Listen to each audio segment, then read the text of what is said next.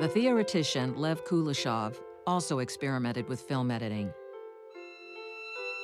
In his most famous study, he took a shot of a Russian actor and intercut it with three different objects a bowl of hot soup, a distraught woman draped across her husband's coffin, and a little girl playing with a teddy bear.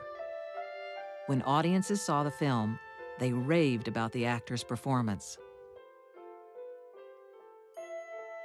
How hungrily he looked at the soup. How sorrowfully he gazed at the woman. And how tenderly he watched the little girl. But actually, it was the same expression each time.